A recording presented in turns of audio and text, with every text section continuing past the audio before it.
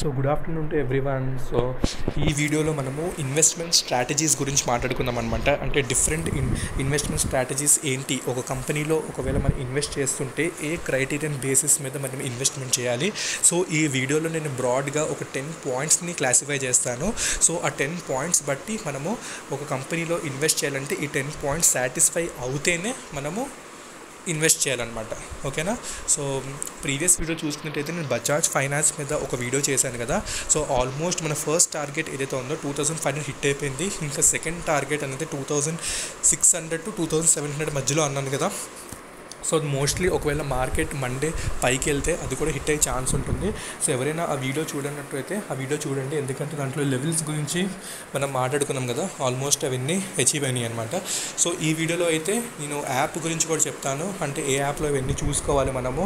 రెగ్యులర్గా చూసుకుంటూ ఉంటే మనకి మంచి నాలెడ్జ్ కూడా పెరుగుతూ ఉంటుంది. కంపెనీ వైజ్ సెక్టర్ వైజ్ డైరెక్ట్గా మనము ఏం తెలియకుండా పెట్టేస్తే మనకి ఓవర్ వాల్యూలో తీసుకున్నట్టు అవుతుంది. ఇంకా లాసెస్ కూడా స్టార్టింగ్ స్టార్టింగ్లో వచ్చేస్తాయి అనమాట సో మంచి వాల్యూలో ఎన్ని ఎట్లా కొనుక్కుని మంచి ప్రాఫిట్స్ అనేది ఎట్లా జనరేట్ చేయాలో ఎన్ని మనము చూద్దాం అనమాట సో ఈ వీడియోలో ఫస్ట్ టెన్ పాయింట్స్ అన్ని ఎక్స్ప్లెయిన్ చేసేసి దాని తర్వాత ప్రాక్టికల్గా ఒక చార్ట్ తీసుకుని ఒక కంపెనీ తీసుకుని మనము అవి ఎన్ని టాలీ అవుతున్నాయో లేదో చెక్ చేద్దాం అనమాట ఓకేనా సో ఫస్ట్ వచ్చేసి ఇక్కడ రాస్తానండి సో ఫస్ట్ వచ్చేసి దేని గురించి మాట్లాడదామంటే మనము పీ బై ఈ రేషియో గురించి మాట్లాడదాం. పీ బై ఈ రేషియో ఇది ఫస్ట్ పాయింట్ ఓకేనా P by E ratio so P by E ratio ఏంటి? ప్రైస్ టు ఎర్నింగ్ రేషియో అనమాట అంటే సింపుల్గా చెప్పాలంటే ప్రైస్ ఆఫ్ ద షేర్ ఏదైతే ఉందో divided by earnings per share అనమాట సో ఇక్కడ రెండు పాయింట్స్ డౌట్ రావచ్చు. ఒకటి ఈపీఎస్ అంటే ఏంటని రావచ్చు. ఈపీఎస్ అంటే ఫిక్స్డ్ అండి అది. ఎర్నింగ్స్ పర్ షేర్ అంటారు అనమాట ఒక పర్టికులర్ ఇయర్కి ఎర్నింగ్స్ పర్ షేర్ వాళ్ళు ఇస్తారు. మన డేటా మనీ కంట్రోల్ చార్ట్లో ఈపీఎస్ అనేది కనిపిస్తుంది మనకి. ఒక అది మనం గూగుల్లో సెర్చ్ చేయొచ్చు లేకపోతే ప్లే స్టోర్లో యాప్ కూడా ఉంటుంది. అది డౌన్లోడ్ చేసుకోవచ్చు. సో వాళ్ళు అక్కడ ఇచ్చేస్తారనమాట డేటా ఈపీఎస్ ఇచ్చేస్తారు పీఈ కూడా ఇస్తారు. ఒకవేళ పీఈ ఇవ్వకపోతే మనము ఈ share price divided by share price divided by EPS కొడితే మనకి పీఈ అనేది వస్తుందన్నమాట. ఓకేనా? సో ఇక్కడ నేను ఒక చూపిస్తాను. స్క్రీన్ షాట్ కూడా తీసాను సో పీ రేషియో ఏదైతే ఉందో ప్రైస్ టు అర్నింగ్ అంటారు. So nothing but stock price divided by earnings per share అనమాట సో ఈ విధంగా మనము పీ కనుక్కుంటాం. సో ఇప్పుడు పీ కనుక్కున్నాం. సో ఇప్పుడు దీనివల్ల యూజ్ ఏంటి అని డౌట్ రావచ్చు కదా. సో దీనివల్ల యూజ్ ఏంటంటే మనము మన పర్టికులర్ స్టాక్ ఏదైతే ఉందో దాని వాల్యూ అనేది డిసైడ్ చేస్తామన్నమాట. అంటే దాని ఏమంటారంటే అర్హత ఎంత ఉంది? ఆ షేర్కి ఆ వాల్యూ ఏదైతే ఉందో ఎంత? ఇప్పుడు సపోజ్ మనము మన ఒక మార్కెట్కి వెళ్ళి ఒక మనము ఒక లెట్స్ ఒక టమాటా కానీ ఆలు కానీ కొంటున్నాం. లెట్స్ ఒక్క టమాటా మనకి పది రూపాయలు ఉందనుకోండి. మామూలుగా ఫేర్ వాల్యూ పది రూపాయలు ఒక టమాటా అనుకున్నాం అనుకోండి. సో లెట్సే మనము అది వాడు ట్వంటీ రూపీస్ అంటానంటే మనం ఓవర్ ప్రైస్లో కొనేస్తున్నాం కదా. అదే ఫైవ్ రూపీస్ అంటే చీప్ వాల్యూ మనం ఫైవ్ రూపీస్ దగ్గర కొంటామా? ట్వంటీ రూపీస్ దగ్గర కొంటామా? మ్యాక్సిమం ఎవరైనా ఫైవ్ రూపీస్ దగ్గరే కొంటారు. సో ఆ వాల్యూ ఏదైతే ఉందో మనకి ఈ పీ బై రే పీ బై ఈ e రేషియోనే చెప్తుందనమాట మనం తెలియకుండా ఒకవేళ మార్కెట్కి వెళ్ళిపోయి మనం ట్వంటీ రూపీస్ పెట్టేసి కొనేలేం కదా? ఫస్ట్ మన మైండ్లో ఒక థాట్ ఉండాలి. అంటే ఫైవ్ రూపీస్ నడుస్తుంది బయట. మనం ట్వంటీ రూపీస్లో ఎలా కొనగలుగుతాం? సో ఫైవ్ రూపీస్కి వచ్చినప్పుడే కొనాలి కదా? సో ఆ పాయింట్లో ఫైవ్ రూపీస్ దగ్గర దొరికినప్పుడే కొనాలి. సో ఆ పాయింట్లో మనము ఇదన్నీ డిస్కస్ చేస్తాం అనమాట సో పీ బై అలా కూడా కంపెనీస్ కూడా వర్త్ అనమాట సో పీ బై అలా price per share by earnings per share ఓకేనా? ఇది ఫస్ట్ క్రైటీరియా సో నెక్స్ట్ వచ్చేసి మనము ఏదైనా చేయాల్సిన నెక్స్ట్ ఫ్యాక్టర్ అనేది ఏంటంటే ఆర్ఓఈ అనమాట సో ఆర్ఓఈ అంటే ఏంటంటే రిటర్న్ ఆన్ ఈక్విటీ అనమాట సో రిటర్న్ ఆన్ ఈక్విటీ కూడా మనము మనీ కంట్రోల్ సైట్లో ఉంటుంది. అంటే మనం పెట్టిన డబ్బులు మనకి ఎంత రిటర్న్ వస్తుంది? లెట్స్ వన్ ఇయర్కి త్రీ మంత్స్కి సిక్స్ మంత్స్కి ఎంత ఈ షేర్ రిటర్న్ ఇస్తుంది? ఓకేనా? ఇది కూడా ఇంపార్టెంట్ పాయింట్ నెక్స్ట్ వచ్చేసి మనకి ఇంకోటి ఇంపార్టెంట్ ఏంటంటే రిజల్ట్స్ ఫైనాన్షియల్ రిజల్ట్స్ అయితే వస్తాయి? క్వార్టర్ రిజల్ట్స్ కానివ్వండి యాన్యువల్ రిజల్ట్స్ ఏదైతే ఉన్నాయో సో అవి కూడా మనకి చాలా ఇంపార్టెంట్ రిజల్ట్స్ ఎట్లా వస్తున్నాయో. సో రిజల్ట్స్ కూడా ఎట్లా కనుక్కోవాలో అవి కూడా మన యాప్లోనే చూ చూపిస్తాను మళ్ళీ నేను. నెక్స్ట్ వచ్చేసి షేర్ హోల్డింగ్ ప్యాటర్న్ అనమాట షేర్ హోల్డింగ్ అంటే ఎవరెవరు ఎంత హోల్డింగ్ చేస్తున్నారు? అంటే మ్యూచువల్ ఫండ్స్ ఎంత ఎంత హోల్డ్ చేస్తున్నారు? ఇంకోటి ప్రమోటర్ ప్రమోటర్ అంటే ఏంటి? ఓనర్ కంపెనీ ఓనర్ ఎంత ఓన్ చేస్తున్నాడో అవి కూడా చాలా ఇంపార్టెంట్ ఇప్పుడు వచ్చే లా లాస్ట్ త్రీ పాయింట్స్ ఏదైతే ఉన్నాయో చాలా ఇంపార్టెంట్ ఇవి కేర్ఫుల్గా రాసుకోండి. కావాలితే నెక్స్ట్ వచ్చేసి ప్లెడ్జింగ్ అనమాట ఓకే నా ప్లెడ్జింగ్ ఎంత ఉన్నదో అది కూడా ఇంపార్టెంట్ ప్లెడ్జింగ్ ప్లెడ్జింగ్ అంటే ఏంటంటే ప్లెడ్జింగ్ అంటే ఏంటంటే మామూలుగా ఇప్పుడు సపోజ్ నేను బ్యాంక్ నుంచి నాకు డబ్బులు లేవంటే నేను సపోజ్ అప్పు తీసుకోవాలంటే నా కంపెనీ షేర్స్ ఏదైతే ఉన్నాయో తాకట్టు పెడతాను అనమాట సో తాకట్టు పెట్టి నేను డబ్బులు తీసుకుంటాను అనమాట సో దాన్ని ప్లెడ్జింగ్ అంటారు. ఎప్పుడైనా కంపెనీకి ప్లెడ్జింగ్ ఎక్కువ ఉందంటే లెట్స్ ట్వంటీ కంటే ఎక్కువ ఉందంటే ఆ కంపెనీ చాలా నెగిటివ్ అనమాట ఓకే నెగిటివ్ కింద తీసుకోవాలి. ఎందుకంటే జనరల్గా ప్లెడ్జింగ్ అంటే negative so let's twenty percent కంటే ఎక్కువ ఉంటే ఫ్లెడ్జింగ్ ఆ కంపెనీ అనేది రిస్క్ అనమాట ఎందుకంటే చాలా అప్పులు చేస్తున్నట్టు కూడా తెలిసిపోతుంది మనకి దాంట్లో. ఫ్లెడ్జింగ్ అనేది చాలా నెగిటివ్. ఎప్పుడైనా ఫ్యాక్టర్ ఉన్నప్పుడు ఆ స్టాక్ని అవాయిడ్ చేయాలి. నెక్స్ట్ వచ్చేసి మనకి డెట్ ఎంత ఉంది? ఓకే నా డెట్ కూడా చాలా ఇంపార్టెంట్. ఓకే డెప్ట్ ఎంత ఉంది అంటే అప్పులు ఎన్ని ఉన్నాయి పర్టికులర్ కంపెనీకి? అప్పులు ఎన్ని ఉన్నాయో అవి కూడా మనం తెలుసుకోవాలి. అప్పులు తెలుసుకుంటే మనము ఇప్పుడు కంపెనీ అప్పులు ఎక్కువ ఉన్నాయంటే మనము దాంట్లో ఇన్వెస్ట్ చేయలేం కదా. అప్పుడు వచ్చిన ప్రాఫిట్స్ ఆ కంపెనీకి ఎన్ని అప్పులు తీర్చడానికి వెళ్ళిపోతాయి. సో ఆ పాయింట్ గుర్తుపెట్టుకోవాలి. డెప్ట్ ఎంత ఉందో అది కూడా మనం చూసుకోవాలి. నెక్స్ట్ దీని దీంట్లోనే ఒక సింపుల్ టర్మ్ డెప్ట్ టు ఈక్విటీ రేషియో ఉంటుంది. జనరల్గా వన్ పాయింట్ టూ కొన్ని కంపెనీస్కి త్రీ ఉంటుంది కొన్ని కంపెనీస్కి ఫోర్ ఉంటుంది. సో జనరల్గా లెస్ దాన్ వన్ ఉంటే మనకి ఆ కంపెనీ అనేది చాలా మంచి షేర్ అని చెప్పొచ్చు అనమాట ఓకేనా?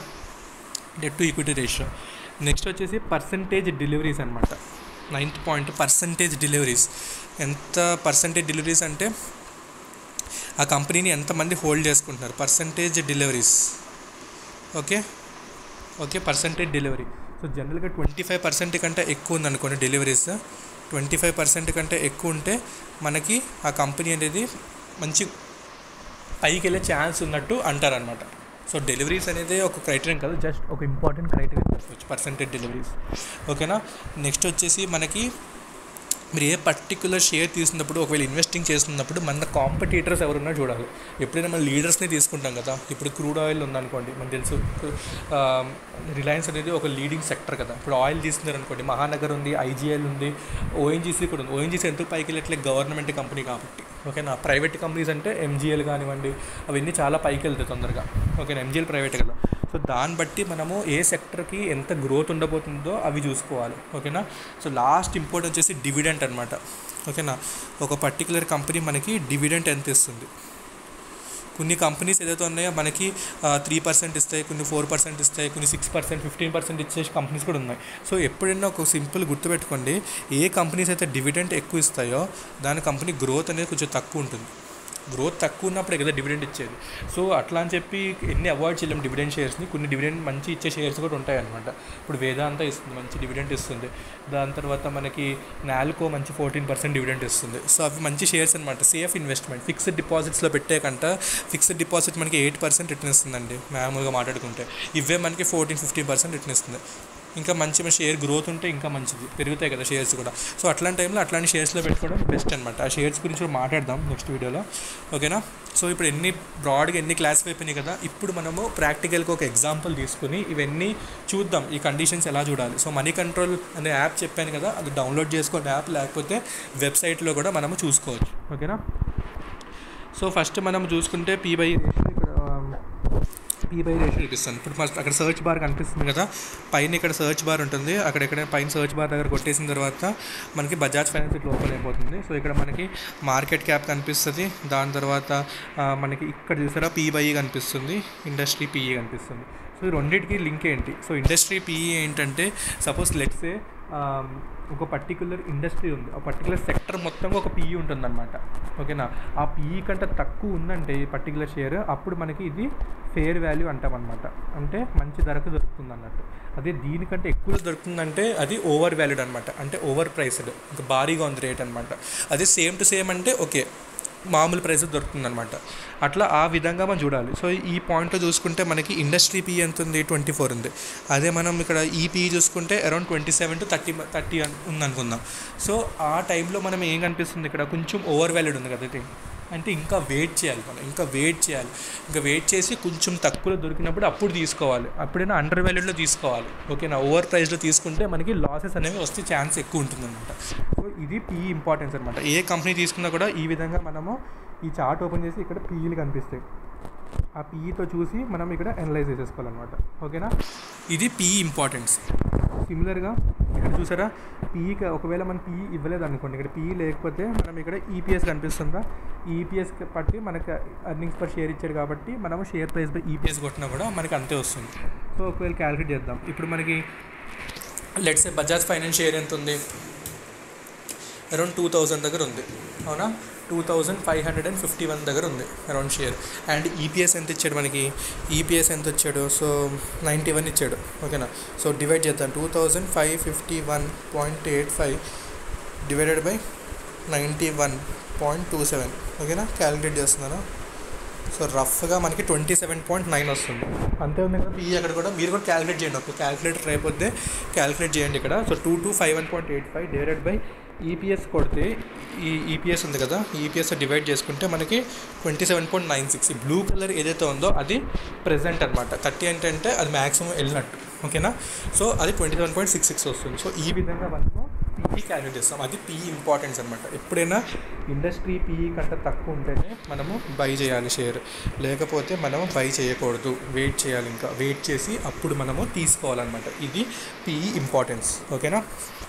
నెక్స్ట్ వచ్చేసి నేను అన్నాను కదా రిటర్న్ ఆన్ ఈక్విటీ ఎంత ఉందో అది కూడా చూసుకోవాలి. సో రిటర్న్ ఆన్ ఈక్విటీ ఎంత ఉందో ఇక్కడ నేను స్క్రీన్ షాట్ చూపిస్తాను ఒకటి. రిటర్న్స్ సో రిటర్న్ రిటర్న్స్ ఎంత వస్తుంది మనకి? ఓకేనా సో ఇక్కడ రిటర్న్స్ అనేది పర్ మంత్ మంత్కి ఎంత వస్తున్నాయి? త్రీ వీక్స్కి ఎంత వస్తున్నాయి? ఇది కూడా మనీ కంట్రోల్ సైట్ కొంచెం యాప్ ఓపెన్ చేస్తే కిందకి వెళ్తే మనకి రిటర్న్స్ ఆన్ ఈక్విటీ కూడా దొరుకుతుంది. ఇక్కడ వన్ వీక్కి ఫిఫ్టీన్ పర్సెంట్ రిటర్న్స్ ఇచ్చింది. వన్ మంత్లో మైనస్ థర్టీ సిక్స్ త్రీ మంత్స్లో మైనస్ థర్టీ సిక్స్ సిక్స్ మంత్స్లో మైనస్ థర్టీ వన్ ఇయర్లో మైనస్ ఫిఫ్టీన్ పర్సెంట్ రిటర్న్ ఇచ్చింది. ఇది బజాజ్ ఫైనాన్స్ కింద మనకి సెక్టర్ ఎన్ని కనిపిస్తున్నాయి? సో ఇది రిటర్న్స్ కింద మాట్లాడుకున్నాం ఓకేనా సో ఎన్ని చూసుకోవచ్చు మీరు?